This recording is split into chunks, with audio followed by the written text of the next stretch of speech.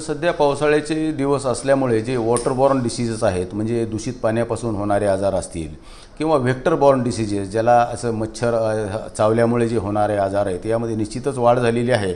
तर त्यासाठी जे व्हेक्टर बॉर्न डिसीजेस आहेत त्याच्यासाठी हे मच्छरांचा बंदोबस्त करणे त्या मॉस्किटो रिपेलंट काही हे असतात कॉईल्स वगैरे असतात त्या लावणं.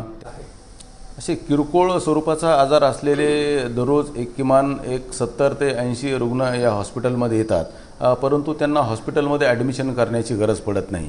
ते ओ पी डीवरती ट्रीटमेंट दिल्यानंतर ते आजार सहज बऱ्या होण्यासारखे आहेत.